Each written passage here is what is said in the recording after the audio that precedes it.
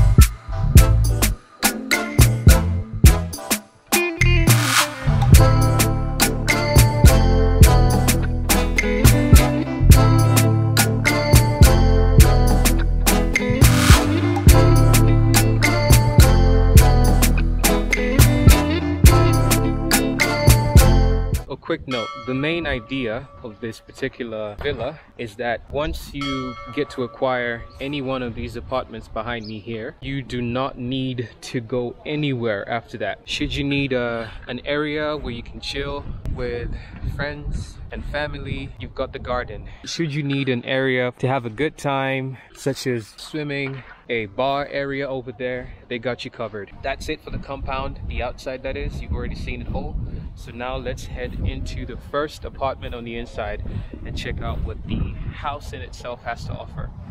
So it's basically three apartments. You've got um, one apartment up there and one apartment down here and then a whole other apartment on that side. Two two bedrooms and then you've got three bedrooms in that one of four. Well, i'll confirm it later. But for now let's go uh, check out the apartment upstairs over there which is what i have access to right now. And uh, let me not talk too much. Let's just step in and you guys can see the house.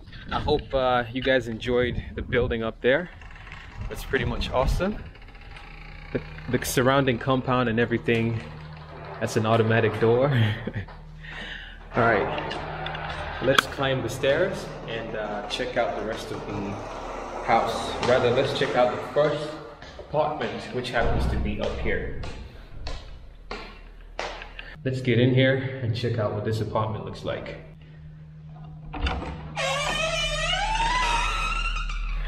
Look at that. The decor on the wall, the colors on the wall, so as soon as you walk in, you're pretty much greeted with the a dining table. And then on the right side is your cooking and kitchen area. The left side is the sitting room with a set of four couches. As you can see, painting on the wall. Take a look at the decor on the roof. So this is the kitchen over here. You've got your kitchen cabinets, plenty amount of space all around. You've got four, three of these cabinets that open up like that. That's a lot of space in there. And then you've got your counter area where you cut your vegetables and everything. You've got your gas stove over here. It's integrated into the counter and then you have your ventilator right above the cooking area this is a in-house ventilator i'm not sure or maybe it takes the steam and the smoke outside of the building i'm not sure. Or it could it could be that it purifies everything within the kitchen itself but these are the cabinets over here. More cabinets over here. There's just a whole bunch of cabinets everywhere. A bunch of cabinet doors that you open up. This is where you arrange your dishes when you store them. Right in there. Bunch of more cabinets here and there. This is a dope kitchen. It looks really good. The lighting up top, it does not get dark whatsoever at night here. And then you have your mini fridge over here. Well, it's not mini, it's just a small, it's in between, it's a medium size. Water already stored in there. Now, then you have your living area. It's actually really spacious. I'm not sure if the camera does justice to it, but this is the sitting area. Then you got the TV up over there. It is a curving, the TV has a curved surface to it. Mm -hmm. They went all out when it comes to equipment. They did not spare anything when it comes to expenses. Which meaning the price, which isn't something that I have right now, the price is something that I will disclose later in the description area below. For now, I think it's could be somewhere between 1,000 to $2,000 or $2,500, but I'll put all of the information in the description below. Now, up over here is the balcony space for this particular apartment. This apartment opens up to this balcony right here. It is a balcony that overlooks the compound, that overlooks the compound area. That's the pool over there. You have your gym in one of those. One of those is the gym and the other is the TV or rather movie theater room. But this is all that you get to see up, up over here. Let's go back inside and check out the rest of the apartment. So this is a two bedroom apartment just like I said before. It has two rooms. Um, let's check out the first room. You have a bathroom right here that is accessible to the guests that come into the house. It's a guest bathroom, but it's huge. No expenses spared again. You got your sink over there, mirror, lighting right above the sink. It's a pretty big bathroom. Now let's check out uh, these rooms. So as soon as you walk into the room, you are greeted with the bathroom over there, but we're not gonna go there just yet. You have your clothing cabinet over here where you store your clothing and everything. have not seen anything this good looking thus far. But you've got your cabinet, you got your clothes hanger up over there. You have your drawers for where you, more storage space for your clothes and shoes and all of that. But my guess is the shoes will go down there. Now, as for the bathroom, you got your toilet here. You've got your toilet paper handle, whatever they call that. You have your sink. You've got your mirror, lighting above the mirror, and the shower area. Now, the shower area seems to have a glass door. That's the shower part right there. You've got water that is heated instantly as you take a shower. You've got your shower thingy right over there. So my guess is you'd be standing over there taking a shower. Water hits this glass down here and flows down to a drainage system that is not exposed. It is beneath that platform down there. Just the design in this, the design in this apartment is, if we go up over here, is the room This is one of the rooms. This is the space that you get within the room. Uh, that's a fan up top over there. That is an intrinsic design. First of its kind, I haven't seen that before. You have AC, and then if you step up over here, is a balcony that can be used for this particular room. Now this balcony opens up to the parking area, as you can see. It opens up to the parking area. You get to have a view of all of the other houses that are over here. Not your regular everyday houses, but let's step back inside and check out the rest of the house. We've only got one room left to go. Now this next room is somewhere up over here. Same setting, both rooms open up to the bathroom. But this one here seems to be a little smaller. I'm not sure, I think, but this is the bathroom of this particular room.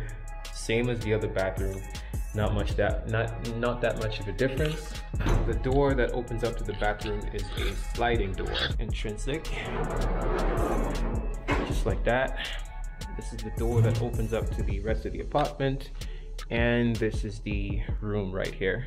So unlike the other room, this room has the uh, clothing cabinet integrated with the sleeping space. So this is where you get to keep your clothes. The size of the clothing cabinet is just like the one in the other room there isn't that much difference but that's what you get. It's the same same thing the cabinets the mirror in between and then you get to slide the doors either side to gain access to whatever part of the clothing cabinet that you need. Both rooms have AC ready to go just like that. You've got your accent lighting up on the roof the fan in the middle.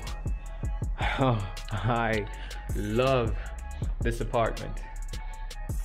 Now this is like an upgrade of what the Buja White apartment was if you guys haven't watched that particular video, I'm gonna put the link up here somewhere check it out. So that's it for the tour of this particular um, apartment. Now, I cannot gain access to the other apartments that are, that are in this building, but it is safe to assume that all of the other apartments are just like this one.